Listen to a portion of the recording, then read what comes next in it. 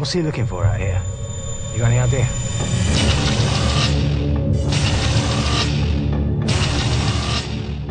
About a year ago, one of Pride Corps' exploration teams discovered an Imperial Army bunker on an island near Sumatra. During the war, General Yamashita of the Japanese Army ordered his troops to loot treasure from all over Southeast Asia. You think it's here? There's something you're not telling us. Something about this place doesn't feel right. What is it? Prisoners of war. For their experiments. Wow, this just gets better. What are we talking? Nerve gas? Germ warfare?